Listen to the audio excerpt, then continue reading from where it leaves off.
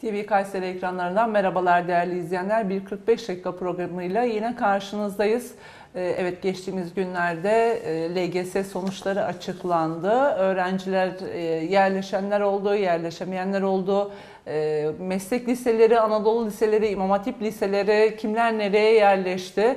E, durum neydi, yerleştirme nasıl yapıldı gibi e, akıllarda aslında hepimizin birçok soru var. Bugün bunlara yanıt arayacağız. Sayın eğitimci Metin Karakaya ile birlikte. Hoş geldiniz hocam. Hoş bulduk, teşekkür ediyorum. Nasılsınız? Sağ olun. İyiyim, sağ olun. Sizler de iyisiniz. Çok teşekkür ediyoruz, sağ olun. Allah iyilikler versin. Şimdi LGS sonuçları açıklandı. Evet. Ee, Milli Eğitim Bakanlığı açıklamasını yaptı. Açıklanan e, en son e, sonuçlara göre tercih evet. tercih yapan öğrencilerin ne kadarı yerleşti, yerleştirme nasıl yapıldı? Evet. E, herhalde ne kadarı yerleştiğiyle başlamak lazım evet. değil mi? Şimdi şöyle aslında zor bir süreçten bu kuşak, evet. bu sınav kuşağı, bu sınav öğrencilerimiz maalesef e, işin temelinde biz e, sınava da karşıyız her programımızda onu da belirtiyoruz. Ama bu hem uzaktan eğitim hem sınav evet. e, program öncesi de sizinle paylaşmıştık. Yani hem müfredatlar değişti, soru stilleri değişti, her şey değişti. Pat diye de pandemi araya girdi. Uzaktan eğitim derken çocuklarımızın sırtına fazla fazla yük bindirdik. E, sınava girdiler, şu an çıktılar. E, şöyle e, isterseniz kısaca hemen tercih ve yerleştirme evet. takvimini bir öğrencilerimizle, velilerimizle paylaşalım. Hı hı. Ardından da e, diğer detaylarımıza girelim.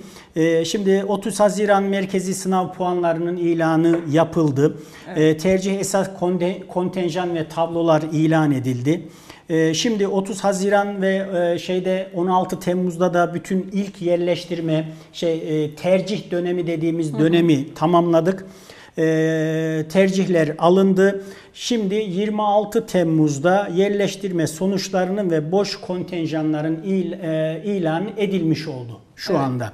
Şimdi bu ilk tercih döneminde tercihini yapıp fakat işte istediği okul gelmeyen yahut adrese dayalı sistemdeki okuluna yerleşemeyen öğrencilerimiz içerisinde sınava dayalı, sınavla okul alan okullarımızın istediği okul gelmeyen öğrencilerimiz de şimdi 26 ila 30 Temmuz'da ikinci tercih dönemini başlayacak. Yerleştirmeye esas birinci nakil tercih başvuruların alınması e, dün itibariyle e, 26 Temmuz'da başladı. Evet. 30 Temmuz'a kadar bu devam edecek.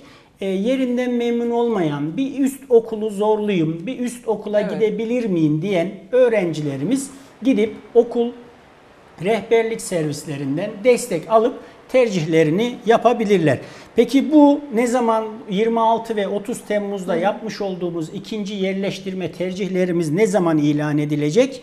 2 Ağustos'ta da bu ilan edilecek. Ondan sonra geldik e, yine diyelim ki ya ikinci tercihimde de e, üst okulu zorlayabilir miyim? Kontenjan var mı? Evet. Ne olur ne olmaz? gibi düşünceleri olan yahut da hani bunlar zaten sisteme dayalı, puan yüzdelik dilimi belli, puanı belli, kontenjanlar belli.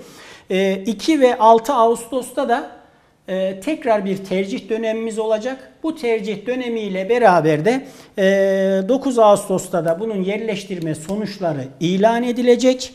9-13 e, Ağustos'ta buraya dikkat çekmek istiyoruz. E, öğrencilerimizin e, ekrana da sağ olsun arkadaşlarımız yansıttılar. Evet. Burada dikkat etmemiz gereken şey 9 Ağustos'ta ilan edildikten sonra 9-13 ee, Ağustos'ta boş kalan kontenjanlara hiçbir yere yerleşemeyen öğrenciler için il, ilçe öğrenci yerleştirme ve nakil komisyonlarınca yerleştirme başvurularının alınması yani, başlayacak. Kısaca yani, nasıl? E, nasıl?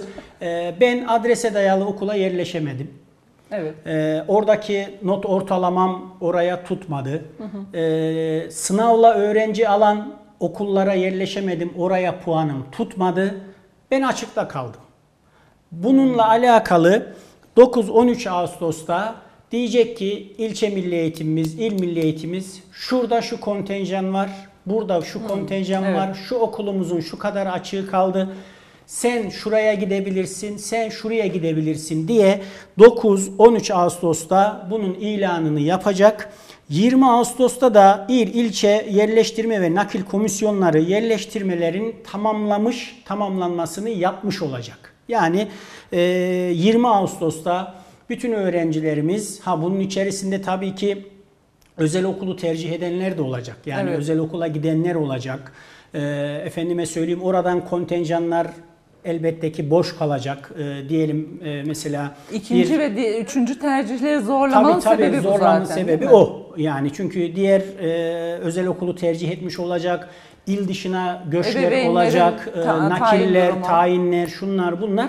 Yani bunu hani benim önerim nedir burada? Eğer ki ee, her zaman bunu söylemişimdir. Üstten iki okul, alttan iki okul yazılmalı, riske atılmamalı diye hmm. tercih döneminde. Ee, burada öğrencilerimiz e, şunu izleyebilirler. İşte bütün tercih haklarını kullanıp kendi akıllarındaki evet. okula yahut da işte puanlarının ve e, hedefindeki okula yerleşemediyse bu tercih haklarının hepsini kullanıp çünkü ne olur ne olmaz işte öğrenci oraya gitmez farklı bir özel okuldan burs imkanı yakalamış olur oraya kayabilir işte annenin babanın tayini çıkabilir gidebilir bu bağlamda e, onu değerlendirmesini tavsiye ediyoruz evet. biz öğrencimizin 20 Ağustos'ta da bütün bunlar e, açıklanmış ve bütün öğrencilerimiz yerleşmiş olacaklar. 23-27 Ağustos'ta yatılılık başvuru okul ve kurumlarca alınması. Bu biraz daha artık ilerleyen dönemlerde tekrar artık görüşebilir. yerleştikten sonra. Evet yani burada inşallah şu pandeminin seyri maske, mesafe, temizlik kurallarına uyarsak ki şu günümüzde maalesef evet. e, ne çarşıda ne tatil yörelerinde ne alışveriş merkezlerinde maalesef şu an uyulmuyor. Buna uymamak demek okulların açılmasını riske etmek demektir. Buradan bütün öğrencilerimize, velilerimize sesleniyoruz. Lütfen yani okullarımızın açılmasını istiyorsak bir aşılarımızı olmalıyız. İki maske, mesafe ve temizlik kuralımıza evet. uymalıyız ki burada Milli Eğitim Bakanlığımız belirttiğimiz gibi 6 Eylül'ü takvim ve takvimde verdi. Evet. Yani 6 Eylül'de biz okulumuzu açacağız dedi. Çocuklar okulunu özledi, çocuklar öğretmenlerini özledi. Her şeyi bırakın. Bakın eğitim çok ciddi manada geri kaldı. Yani bunun önüne geçmek ve çocuklarımızın sağlıklı, nitelikli, doğru bir eğitim alması için bizim bu kurallara dikkat edip 6 Eylül'de ne yapıp evet. edip okulların açılmasına bizlerin destek sağlaması gerekmekte eğitim sekteye uğradığı gibi aynı zamanda çocuklar artık bu bir buçuk iki yıla yaklaşıyoruz. Ee, çocuklar sürekli evde ve neredeyse sosyalleşmeyi de unuttular. Sosyalleşmeyi işte sosyal medya mecralarında olarak görüyorlar ama Maalesef. işte birebir arkadaşları oturup gezmesi, sohbet etmesi, oyun oynaması, dolaşması çok evet. daha ayrı bir durum. Ee, bu çocuklara psikolojik açıdan da çok fazla etkiliyor. Eğitim etkiliyor evet ama sosyal açıdan da etkiliyor çocukları. Evet ya kesinlikle. Şimdi çok önemli bir konuya e, değindiniz. Bunun acılarını ilerleyen dönemde göreceğiz. Niye göreceğiz? Şimdi bir bireyin sağlıklı bir bireyin sosyal etkileşimi, kendini ifade edebilmesi, e, yaptığı işi en doğru şekilde yapabilmesi işte eğitim ve öğretim ortamında hayata hazırlanarak mümkün olur. Evet. Sosyal etkileşimiyle mümkün olur. Ama biz şu anda e, elbette ki çocuklarımızın akademik yönlerinin eksik kalmaması adına uzaktan eğitim programlarını uyguladık, yaptık ama bu çocuklarımızın asıl ihtiyacı sosyal etkileşimleri, sosyal çevre içerisinde doğru bir şekilde yetişmeleri e, ve bu buradan elde ettikleri kazanımları hayatta uygulamaları. Evet. Yoksa ilerleyen dönemlerde göreceğiz. Yani bu kuşakta e, kendini ifade edemeyen, özgüveni yerinde olmayan, e, analiz, sentez oluşturamayan, problem çözemeyen, hani problem derken matematik algılanmasın. Başına bir sorun geldi, onunla nasıl mücadele edeceğini bilemeyen, ona çözüm üretemeyen bir kuşakla karşı karşıya kalacağız. Evet. E, bunların yanında e, şimdi uzaktan eğitim evet eğitimi veriyoruz ama e, eğitimle öğretimi birbirinden ayırmak lazım. Eğitim evet akademik başarı için olandır. Ama öğretim kısmı bana göre işte çocukların toplum içerisinde kendini ifade etmesi, nasıl davranması gerektiği, bir sorunla karşılaştığında sizin de söylediğiniz gibi nasıl başa çıktığı bunları da biz aynı zamanda okulda öğretiyoruz. Evet yani şimdi zaten şöyle e, bizim hani sınavdan başladık ya e, evet. buradan hem rahmetle analım e, hem de e, bizim e, çok güzel bir sözünü izleyicilerimizle ilerleyen dönemlerde paylaşacaktık ama şimdi evet. denk geldi. Şimdi şey yapalım. Doğan Cüceloğlu hocam buraya çok güzel bir vurgu yapıyor aslında. E, çiftçinin ağaçla kurduğu ilişki gibi ilişki kurun çocuğunuzla diyor. Çiftçi ağacını bilir, erik ağacını elma ağacı yapmaya çalışmaz. Düşünebiliyor musunuz? Çok güzel bir söz. Evet. Olabileceği en iyi erik ağacı olması için ortam hazırlar, bakımını yapar, e, bu şekilde ağacını yetiştirir diyor. Ama biz ne yapıyoruz? İşte burada eğitimle öğretimi tamamen karıştırıp, e, önceliklerimizi geri plana itip, çocuğu hayata hazırlamaktan, yaşam becerilerini e, kazandırmaktan bir tarafa biz ne yapıyoruz? Sadece akademik odaklı, evet. E, sınav odaklı e, ve herkesi de aynı kalıba koyup aynı sınava sokuyoruz. Evet.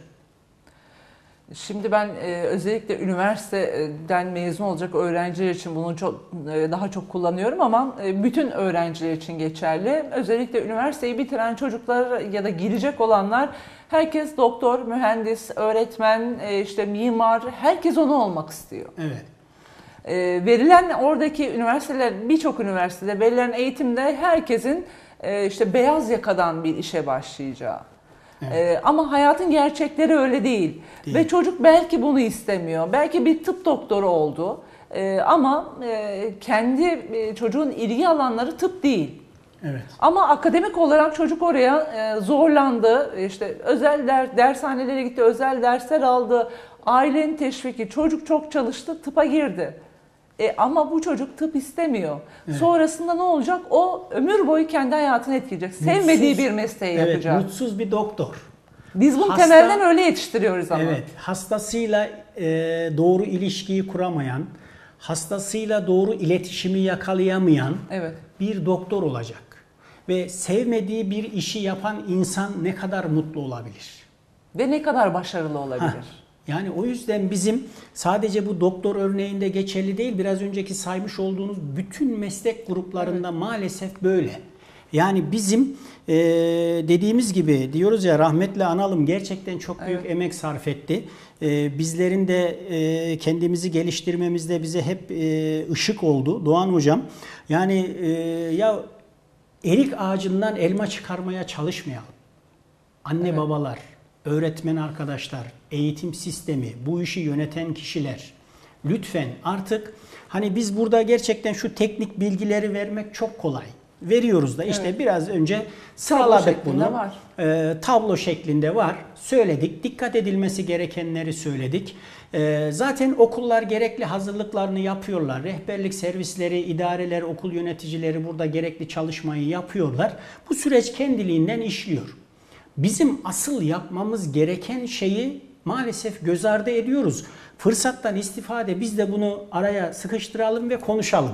Yani biz asıl sınav sistemini konuşmamız gerekiyor. Artık bizim çocuklarımızı ilgi, istek, yeteneklerini keşfedip kendi yapabilecekleri meslek alanlarına yönlendirip Evet. Lisede bu işi bitirmemiz gerekiyor. Üniversite bunun için çok geç ama biraz önce sizin buyurduğunuz gibi daha adam üniversite sınavına giriyor.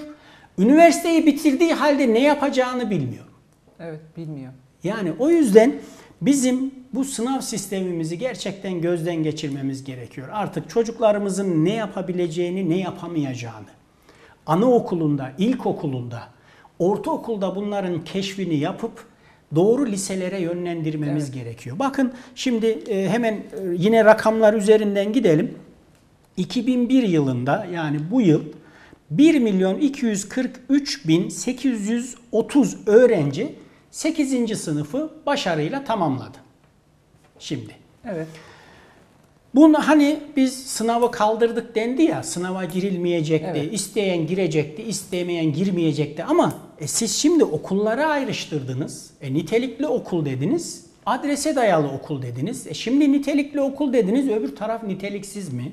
Şimdi ister istemez velinin, öğretmenin, herkesin, kamuoyunun aklına bu şüphe düştü. E şimdi ondan sonra bakıyoruz ki hani sınavsızdı ama Sınava giren öğrenci 1 milyon 38 bin 492. Yani 200, 200 bini bin. girmemiş. Belki sağlık sebeplerinden dolayı girmedi. Belki farklı bir şeyden dolayı girmedi. Yani 1 milyon 200 binde, 250 binde, 250 bin öğrencinin sınava girmemesi, 1 milyonun girmesi sınavın kaldırıldığı anlamına gelmiyor işte Evet. maalesef sınava dayalı, sınav temelli e, bir e, sistemimiz var. Bu sistemde maalesef ki bizim çocuklarımızın yeteneklerini köreltiyor. Yeteneklerini ortaya çıkartamıyoruz. E, Ondan sonra da işte ya biz 80 milyonuz. Yani ondan sonra işte sporcu yetiştiremiyoruz. İşte Sanatçı doğru, yetiştiremiyoruz. sanatçı yetiştiremiyoruz. Doğru doktoru, doğru öğretmeni, doğru mimarı, doğru mühendisi maalesef yetiştiremiyoruz. İşte o da zaten biz 8. sınıftan itibaren ki daha öncesi de var ama e, hadi 8. sınıfları temel alalım o sene sınava girecekler. Evet. Bütün çocukları biz fen lisesine göre hazırlıyoruz. Evet aynı sınava sokuyoruz. İşte ben onu söylüyorum. Belki o çocuk e, el becerisi çok güzel, çok Evet. kuvvetli. Evet. Ya da işte e, bilgisayarla bizim o jenerasyon çok aşırı neşir. Elektroniğe çok merakı var. Evet. Kimi Evet. makinalarla uğraşmayı seviyor. Evet. E, işte kimi yani e, kuaför olabilir, e, başka şey olabilir. Evet, evet, Ama biz hepsini evet. fen lisesine göre Ma- hazırlıyoruz evet sınava. hemen oradan da gelelim ee, Dilek Hanım. Bakın şöyle şu istatistiği de verelim. Bu öğrencilerimizin nitelikli okullara giden yahut da şey yapan bu söylediğiniz şeyin temelinde aslında meslek liselerimizi nitelikli hale getirmemiz yatıyor aslında. Evet. Kuaförlükte ha şimdi yok mu var denecek. Var da biz ne yapıyoruz? Yeteneğe olan öğrenciyi değil de puanı yetmeyen öğrenciyi oraya gönderiyoruz. Zorunlu değil, Düşünün- mecburi gibi Ha, çocuklar oraya gidiyorlar. oraya gidiyor. Halbuki işte aslında iki tarafta da yanlış yapıyoruz. Bakın fen lisesine giden çocuk da mutsuz. Evet. Öbür taraftan meslek lisesine giden de mutsuz. Halbuki biz çocuklarımızın biraz önce belirttiğimiz gibi ilgi, istek, yeteneklerine göre doğru okullara kanalize edip yönlendirsek ya mutlu çocuklar, mutlu bir toplum olacağız aslında. Bakın düşünün, şöyle bir bakın tabii bunun temelinde sosyoekonomik, kültürel bir yapı yatıyor. Ekonomik yatıyor, sosyal yapı yatıyor, her Evet. şey yatıyor ama inanın otobüs şoförümüz mutsuz. Evet. Taksi şoförümüz mutsuz. Doktorumuz mutsuz. Fırıncımız mutsuz. Öğretmenimiz Herkes mutsuz. öğretmenimiz mutsuz. Ya yani gerçekten ben saysak çok orana vursak çok azdır. Yani ben bugün mutlu bir şekilde işime gidiyorum. Bunun tamam temelinde geçim sıkıntıları olabilir, ekonomik boyut olabilir ama diğer taraftan da insanların bunun en önemli temellerinden birisi de sevdiği işi yapamaması. E, Son dönemde televizyonlarda görüyoruz beyaz yaka bir şirketin e, işte genel müdürü ya da bir e, doktor, bir mimar e, mesleğini bırakıyor. E, İşte kimisi organik tarıma başlıyor, kimi sanatla uğraşıyor, kimi başka bir şey yapıyor. Çünkü yaptıkları işte mutsuzlar. Temelden öyle geldiler Ben ama. 3 doktor biliyorum. 3 doktor biliyorum. Mesleğini bırakıp kebapçı açan. Yani bıraktı. Ben Evet. ben bu işi yaparken mutluyum diyor adam. Yani diğer programlarımızda paylaşırız. Yayınlandı da bunlar. Yani e, hemen şuna gelecek olursak yine bakıyoruz. E, toplam okullarımıza bizim okul çeşitlerimiz ne? Evet. Anadolu İmam Hatip Lisesi. Anadolu Lisesi, Mesleki ve Teknik Anadolu Lisesi, Fen Lisesi, Sosyal Bilimler Lisesi.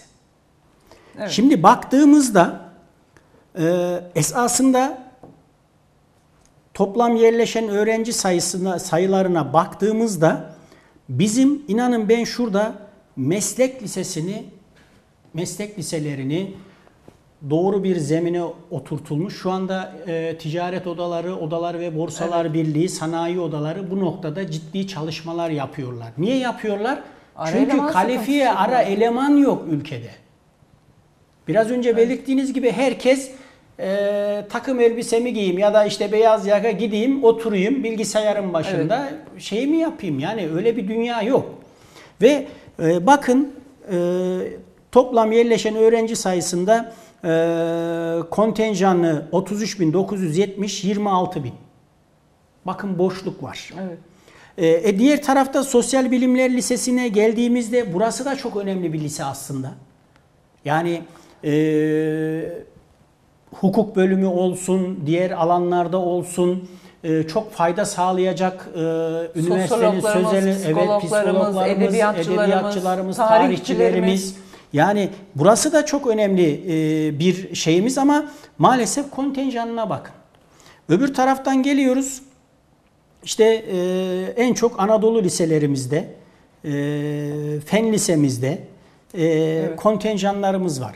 E, doluluk oranlarımıza, yerleşme oranlarımıza baktığımızda da işte meslek lisemiz maalesef %76.90'da kalıyor. Niye? Halbuki şu anki en büyük problemlerimiz bizim ne? İşsizlik. Evet. Doğru mu? Yani gitse ya iş bulamıyorum. Doğru. Çalışan işverene de sorduğunuzda doğru elemanı bulamıyor. Evet. İşveren işçi bulamıyor, işçi e, iş bulamıyor. İş bulamıyor.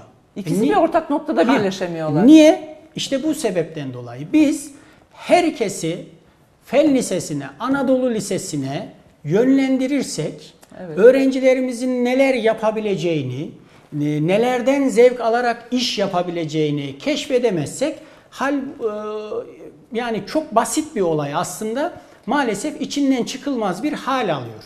Evet. Bir Arap saçı. Heh, yani maalesef o duruma geliyor. Halbuki biz bu öğrencilerimizi e, ve meslek liselerimizin çeşitliliğini artırsak, niteliğini artırsak, itfaiyecilikten tutun taksi şoförlüğü, minibüs şoförlüğü, servis şoförlüğüne varıncaya kadar bölümlerini oluştursak. Yani bugün e, değil mi servis şoförlüğü çok önemli ve kıymetli bir Evet. meslek. Niye? Bizim geleceğimizi taşıyor onlar. en değerli varlığınızı sabah giderken servise o insana emanet ediyorsunuz. Evet. Okula bırakmasını istiyorsunuz. Okuldan alıp geri eve getirmesini istiyorsunuz. Ya bu insanın okulundan mezun olmasını istemez misiniz? E, Tabii ki. Yani meslek lisesinde öyle bir bölüm oluşturulsa, kardeşim araba sürmeyi seven, arabayla uğraşan birçok e, öğrencilerimiz var. Ben inan derslerde görürdüm ya sıranın üstü olsun, sıranın üstüne her ne kadar yapmayın desek de e, yapan öğrenci ya araba çiziyor, araba modellerini çiziyor. Yani çocuk araba, dünyası araba. Evet. Bu adam e, yüz binlerce kilometre de yapsa ya araba sürmekten mutlu bu adam ya. Bu adamı işte ona yönlendirelim ya. Severek yapsın işini. Ama öbür taraftan da işte adam sevmeyerek yapan adam da sabah e, hem çocuğu serviste azarlıyor. Hem doğru düzgün işini yapmıyor. Hem trafik kurallarına uymuyor. Bakın e, düşünebiliyor musunuz? Basit bir doğru alana yönlendiremediğimiz bir servis şoförünün ya da e, otobüs şoförünün, taksi şoförünün nelere mal olacağını düşünebiliyor musunuz? Nelere mal oluyor? Trafik kazasına mal oluyor. Öğrencimizin mutsuz okula gitmesine mal oluyor. Evet. Mesela çocuklar serviste müzik dinlemek istiyor. Servis şoförlerimizin e, yani belki bir yarısı belki de yarıdan azı orta yaş ve üzeri. Ya işte çocuklar yüksek sesli müzik dinlemek istiyor. Benim kafam kaldırmıyor, açmıyorum. E çocuk e, enerjisini atmak istiyor. E, o müziği dinlemek istiyor, hareket etmek istiyor. Ama e, şoför amca müziğin sesini açmayınca çocuk kös kös yerine oturuyor. Mutsuz mutsuz okula gidiyor. Belki orada müziğin sesi açılsa çok basit bir şey. E, müziğin sesi açılsa çocuk hem enerjisini atacak Orada da- hem daha bir kendine gelecek Evet. sabah. Şu, e, hemen işte orada e, servisçilerimize önerimiz e, şu olabilir. E, hani orada da hadi şöyle hak verelim. E, ya dikkati dağılmasın. Evet. E, servis şoförü şey olmasın ama Ya artık e, kulaklık olayı, e, artık biraz teknolojiden yararlanma olayı, her öğrencinin dediğini kendi kulaklığı olabilir, istediği müziği Evet. dinleyebilir. Belki çok artık servislerimizin öyle dizayn edilmesi gerekebilir. Herkesin yani burada da bir mesleki bir öneride bulunabilirim. Herkesin ortak bir şeyi bulunabilir gerçekten. Yani bunlar çok ince detaylar, küçük detaylar ama çok önemli detaylar. Yani e, çocuğun severek okula gitmesi, mutlu Evet. okula gitmesi, okuldan mutlu dönmesi. Bakın bir servis şoförümüz ne, neye mal oluyor? Neleri yapabilir, neleri yıkabilir bu bağlamda. O yüzden bizim e, ben buradan e, gerçekten her seferinde söylüyoruz. E, bizim sınav sistemimizi gözden geçirmemiz gerekiyor. E, sınav sistemini tekrar ele almamız gerekiyor. Yani sınavsız biz sınavsız dendi ama işte 1 milyon 250 bin öğrenci e, mezun olmuş. 1 milyonu bu sınava girmiş. Sadece 250 bini girmemiş. Yani sınavsız diye bir şey yok. Ve herkeste ne olmuş? Annesinin babasının maalesef işte çocuğu biraz önce Doğan hocamızın sözünden esinlenerek söyleyelim. Çocuk elma ağacı biz erik ağacı yapmaya çalışıp hadi sen buraya hadi sen buraya diye zorluyoruz. İşte biz biraz da e, ebeveynler olarak e, hayatın her evresinde herkes farklı bir şekilde zorluk yaşamıştır. Evet. Kendi hayatında zorluklar yaşamıştır. İşte çocuğumuz onu yaşamasın ama yaptığı her şeyi mükemmel yapsın. Mükemmel bir çocuk olsun. İşte e, işini çok iyi yapan bir e, ne iş yapıyorsa müdür olsun, amir olsun, memur olsun. Hep mükemmel mükemmel diye yetiştiriyoruz çocukları çünkü. Ama işte e, biz yine e, Doğan hocamızı rahmetle analım. Biz e, mükemmel e, çocuk yetiştirmekten, insan yetiştirmekten ziyade iyi insan yetiştirmeyi hedeflemeliyiz. Yani bizim hedefimiz de iyi insanı yetiştirmek olmalı. Doğru, e, işini güzel yapsın. Allah işini güzel yapanları sever. İşini doğru yapsın, güzel yapsın Hakkıyla ama iyi getirsin. insan olsun. Biz önce iyi insan yetiştirelim. Mükemmel insan yetiştirdiğimizde mükemmelliyetçiliğe giden yol maalesef çok acımasız oluyor. İnsanlar e, maddeye dayalı işte ben şuyum kesinlikle kurallardan taviz vermem işte şöyle çok Evet. acımasız olabiliyorlar. Ama biz iyi insanlar, merhametli Vicdanlı. insanlar, vicdanlı insanlar yetiştirmek zorundayız. Biz o yüzden e, yani mükemmel değil de iyi insan yetiştirmeyi bizler hedeflemeliyiz bu bağlamda. Ama biraz da biz evet çocukları tamam ilgi duyduğu mesleğe yönlendirelim diyoruz. Ama çocuk neye ilgi duyuyor? Çocuk neyi seviyor? Ebeveynlerde de biraz e, bunun eksikliği var. Yani çocuğum çocuk e, duyduğunu söylüyor. Evet. İşte ne olacaksın? Doktor mu olacaksın? Evet doktor olacağım. Evet. Bu bilinçaltına yerleşiyor ama çocuk neye ilgi duyuyor? Belki e, doğaya ilgi duyuyor. Bir e, veteriner olacak, belki bir zoolog olacak. E, yani çocukların ilgi alanlarını veliler de bilmiyor, anne baba da bilmiyor. İşte burada ne devreye girecek? Ee, okul ve veli işbirliği. Şimdi çocuk en az 6 saat, 8 saat okulda geçiriyor. Evet, Geriye kalan kısımda evde. Okuldaki gözlemlerimiz, evdeki gözlemlerimiz yani bizler e, artık e, veli buluşmalarında çay, kahvaltı, börek, efendime söyleyeyim mantı işinden sıyrılıp ya oturup nitelikli bir şekilde çocuğumuzun özellikleri nedir? Arkadaşıyla ilişkileri nelerdir? Öğretmeniyle ilişkileri nelerdir? Bunları konuşmamız lazım bizim. Ama maalesef bizdeki veli toplantıları, veli görüşmeleri, veli buluşmaları neden? Günden günden ibaret. Yani gün Evet. ortamına dönüşüyor hemen. bir sohbet, muhabbet ortamı. Ha, Öğretmen bir öyle iki değil cümle işte. ne söylerse. Yani mesela e, çocuğunuzu ne kadar tanıyoruz diye çok güzel sorular var. Evet, Ee, Biz önceki programlarımızda da bunları paylaştık. Ee, Tekrar paylaşalım. Yani işte çocuğum hangi diziyi seyrederken mutlu. Bakın dizinin içeriği ne? Bakın çocuğumu tanıyabilirim ben. evet. Yani çocuğum hangi spor dalıyla e, televizyonda haşır neşir olabiliyor. Yani bütün bunları e, öğretmenlerimizle velilerimiz işbirliği halinde çocuğu tanıyabilirler. Bu çok zor bir şey değil. Yani çocuğun ilgi, isteğinin, yeteneğinin keşfedilmesi aslında çok basit. Ama biz bunu geri plana gittiğimiz için Daha hemen sanki öğretmenlik mesleğinin niteliğini veya başarısını çocuğu evet benim sınıfım Aralık ayında okumaya geçti. Evet. Maalesef.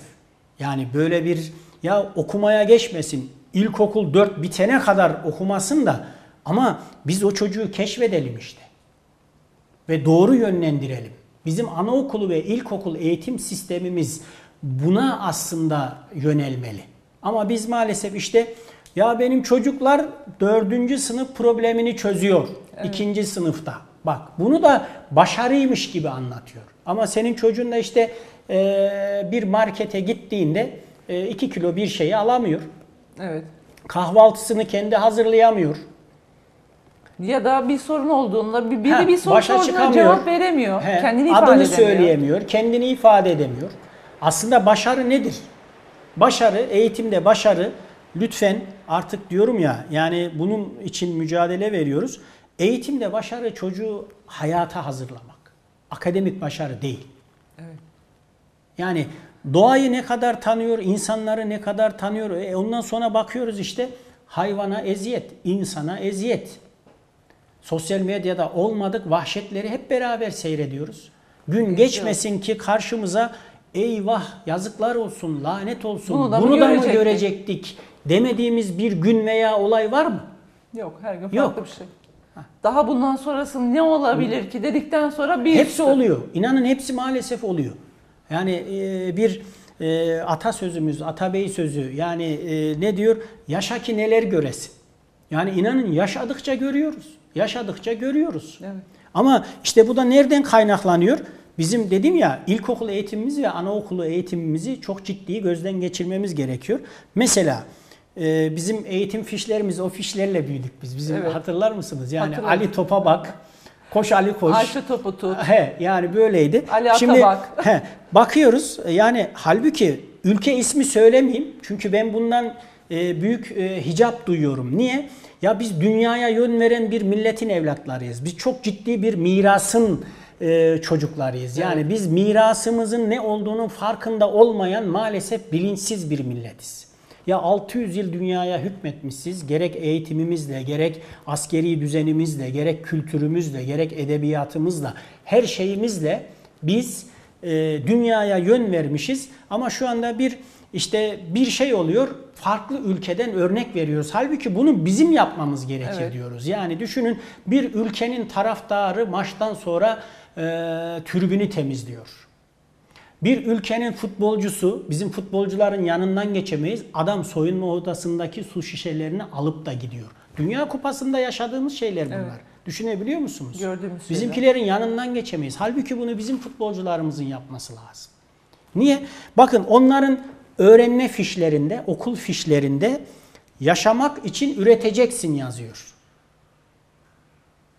Diğer bir ülkenin okul fişinde hani bizde Ali Atabak yazıyordu evet. ya geleceğiz oraya.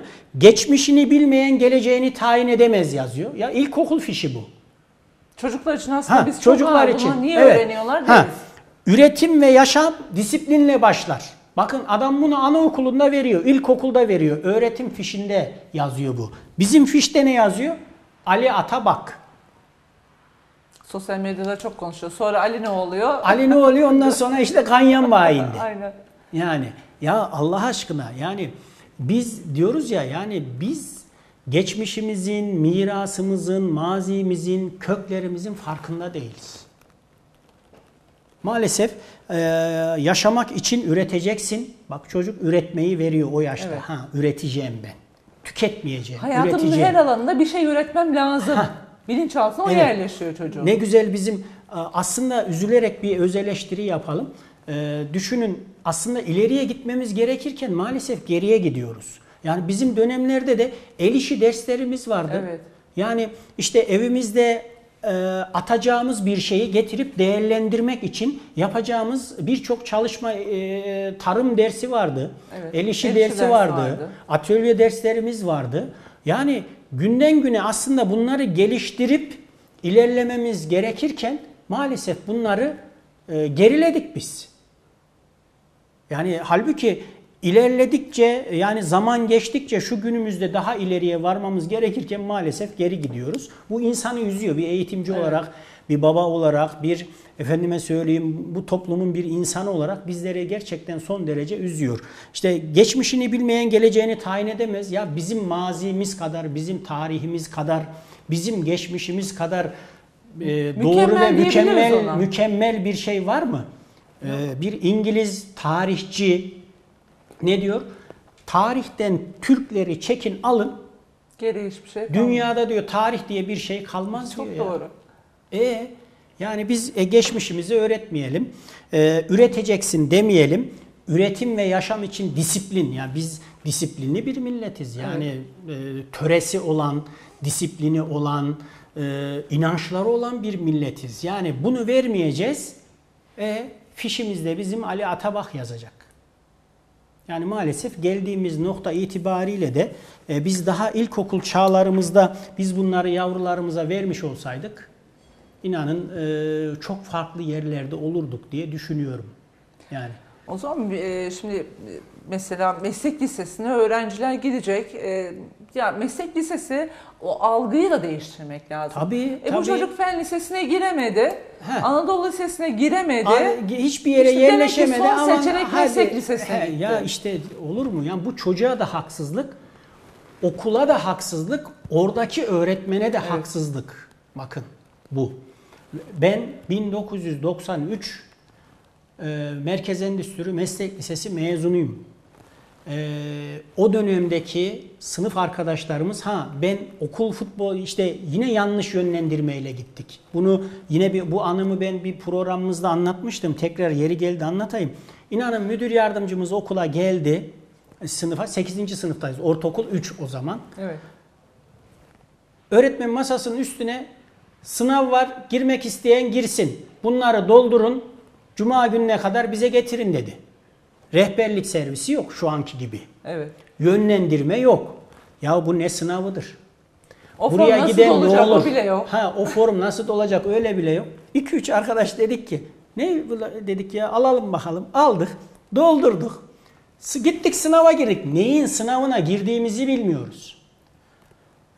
Biz meslek lisesi o zaman düşünün.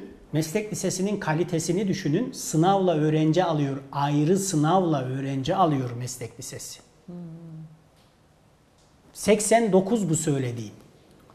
Ve biz sınava girdik. Eyvah baktım ki şey e, hani bilmiyoruz ne yaptığımızı da sınav sonuç belgesi kazandı olarak geldi. Annem bir sevindi ki o oğlum sınav kazanmış. O da bilmiyor nereye kazandığını. Kazandı ama. Kazandı. Gittik meslek lisesi torna tesviye bölümü. Benim hiç el becerim yok. Düşünün. Girdim Allah'tan okul futbol takımı sayesinde inanın ben okulu bitirdim. Yani torna tesviye mezunuyum ama şimdi beden eğitimi öğretmeniyim. Evet. Allah'tan orada rahmetli Nurdağ Coşar hocam e, bizi yönlendirdi. Oğlum dedi sen dedi yani bu şey değil senin şeyin bu. Yani sen gir beden eğitimi sınavlarına yapacağına inanıyoruz dedi. Ve biz o öğretmenimin yönlendirmesiyle meslektaş olduk.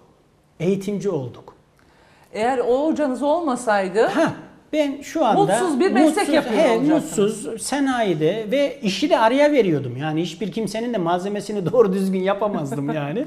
E, o bağlamda e, düşünün o dönemdeki ben arkadaşlarımı hatırlıyorum. Ben yanlış gitmiş biriyim ama orada öyle yetenekli arkadaşlar vardı ki havakmel ve ana tamiri staja giderlerdi. Ayakta tutan kişilerdi. Ben şu an iddia ediyorum şu anın makine mühendislerinin mezunu, üniversiteden mezunlarından çok daha yetenekli ve iş bilen arkadaşlar o dönemde meslek lisesinden mezun oluyordu. Yani bu ülkenin esasında LGS'den hareketle geldik buralara. Şu LGS sınav sürecinden kurtarıp meslek lisesi çeşitliliğini artırıp çocuklarımızı sınav stresinden uzak yetenekleri doğrultusunda yönlendirildiği okullarda okutulması gerekiyor artık. Evet. Şimdi LGS ile başladık, genel konuştuk. LGS ile de kapatalım istiyorum. Ee, LGS ile ilgili söylediklerinizden ben şu sonucu çıkarıyorum. Ee, evet bu çocuklar bir tercih yaptılar. Yerleşen Evet. yerleşti, yerleşemeyen istediği yere yerleşemeyenler. Evet. Ee, ilk tercih yaptılar, ikinci tercih yapsınlar, üçüncü tercih yapsınlar. İstedikleri yer için zorlasınlar. Zorlasınlar tabii yani baksınlar E, çünkü illaki kontenjan boşluğu olacak. Adres değişikliği yapan olacak. E, tayini çıkan olacak. Özel okullara giden olacak. il değiştiren olacak. E, son ana kadar bütün şartları zorlamasında fayda var diyorum öğrencimizin. Ama bu tabii ki bunlar artık puana dayalı. Tutup da hani gitmek istediği okulun puanı örnek puanlar Evet. veriyorum şu anda yanlış anlaşılmasın. Ya orası e, 400 puandan yüzde e, dörtlük dilimden alırken sen yüzde 15'lik dilimdeysen bunu zorlama. Hani çok az rakamlar var ise Evet. bunu zorla. Ee, yoksa yani işte senin yüzdelik dilimin yüzde 15 senin gitmek istediğin okul alıyor yüzde üçlük dilimde. Yani bunu üçüncü, dördüncü tercih yapmanın, ikinci tercih yapmanın bir anlamı yok. Yani bu bağlamda gerçekçi olarak, reel bakarak e, bu olayı değerlendirmek lazım. Ha önerim benim bu. Yakın aralıktaysak, fazla bir uçurum yoksa bu adres değişikliklerini, özel okula gitmeleri göz önünde bulundurarak tercih haklarını kullanabilirler. Peki bu kontenjanları, istedikleri okulları, onları veliler ya da öğrenciler mi takip edecek? Yani milli eğitimin özel Milli eğitimin tabi tabi yok. Hem okullarımızda rehberlik servisleri bunlar gayet ve Milli Eğitim'in yayınlamış olduğu e, kılavuzda bunların hepsi var. Hepsini rahatlıkla ulaşabilirler, takip edebilirler zaten. Yani bugün hangi okul idaresine gitseler, kendi okullarının rehberlik servisleriyle görüşseler, geçen yılın dokümanları da mevcut, bu yılın dokümanları da mevcut. Geçen yıl işte atıyorum Kayseri Fen Lisesi ne kadarla almış, ne kadarla kapatmış. Bu yıl ne olabilir? 3 aşağı 5 yukarı zaten herkesin önünde ve biliniyor bu. Peki şimdi son soru. Ee, velilere ve öğrencilere istediği okula yerleşemeyen küçük puan farklılıklarıyla kaybeden çocuklara ya da velilere tavsiyeniz nedir? Yani e, üzülmesinler. Bu e, şimdi her bitiş bir başlangıç. Her başlangıçta bir bitiş. Şimdi LGS bitti. Evet. E, ortaokul bitti, lise başlayacak. Lise bitecek, üniversite başlayacak. Şimdi LGS'nin bir telafisi var. LGS'de diyelim ki üzerimize düşen görev ve sorumlulukları yerine getiremedik. İstediğimiz yerlere gidemedik ama bunu gittiğin lisede çok iyi değerlendirirsen ben çünkü çok öğrencilerimi biliyorum. Yani e, kendini ortaokul dönemini çok iyi değerlendirip fen lisesine atıp yatışa geçip Evet. üniversitede bocalayan ve istediği üniversiteye gidemeyen ama e, Anadolu Lisesi'ne bile yerleşemeyip dışarıdan desteklerle, efendime söyleyeyim azimle, çalışmayla da e, fen lisesine gitmedi fakat çok iyi üniversite kazanan öğrencilerim de var. Onları da biliyoruz. Yani burada LGS aslında bir dönemi bitirdik, bir bitiş ve yeni bir başlangıç. Burada ne o öğrencilerimiz ne de o velilerimiz lütfen üzülmesinler. Öğrencilerimize de haksızlık etmesinler. Çünkü zor bir dönemden geçtiler. Zor bir Evet. pandemi dönemi, sınav ortamı, e, uzaktan eğitim onlara haksızlık etmesinler. Yani burada e, diyelim ki istediği okul gelmedi, yerleşemedi ama bu her şeyin bittiği anlamına gelmez mevcut şartlar içerisinde en iyi şekilde değerlendirip e, önüne bakmasını tavsiye ediyorum. E, liseyi çok iyi değerlendirip LGS'de yaptığı hatayı üniversite sınavında yapmayarak daha istediği bir bölüme yerleşebilir. Bunun Evet. örneklerini gördük. Bu pandemiden dolayı evet çocuklar e, istedikleri gibi çalışamadılar, okula gidemediler, sosyalleşemediler. E, işte burada aslında en önemli şey velilere düşüyor. Çocuklara çok fazla yüklenmemek lazım. Kesinlikle yok. Biraz Yani- daha çalışsaydın daha iyisi olurdu dememek lazım. Evet sınava girdi belki istediği yeri kazanamadı. Evet. E, ya yapsaydın, çalışsaydın olur diye çocukların üstüne de psikolojik baskı Hayır kurmamak yok lazım. kesinlikle. Yani işte dedik ya e, erik ağacı ya elma Evet. çıkmaz oradan. Yani elma olmaz. Yani oradan en iyi eriği almaya bakalım biz. Evet. Yani çocuğumuzu e, mevcut şartlarına göre değerlendirelim. Çok teşekkür ederim. Sağ ben olun teşekkür ederim. için. Sağ olun. Bir başka programda İçimizi döktük iyi oldu. bir başka eğitim konusuna parmak basmak için sizi tekrar bekliyoruz. İnşallah. Teşekkür ediyorum. Çok sağ olun. Evet değerli izleyenler, e, eğitimci Metin Karakaya ile bugün LGS sınavını konuştuk. E, İnşallah e, bütün öğrencilerimiz istedikleri yerlere, kazandıkları yerlerde değil, istedikleri yerlere yerleşmiş olurlar efendim. Ve biz ardından sürenin sonuna geldik. Tekrar görüşmek dileğiyle, hoşçakalın.